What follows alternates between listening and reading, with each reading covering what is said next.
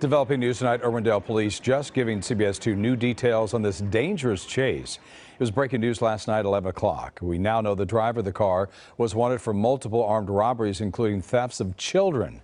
The chase started last night in Azusa, ended 40 minutes and 28 miles later in Pasadena when police let the driver go because he was driving so fast and recklessly.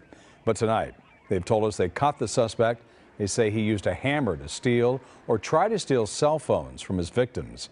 Those victims, according to police, include children as young as seven and eight years old.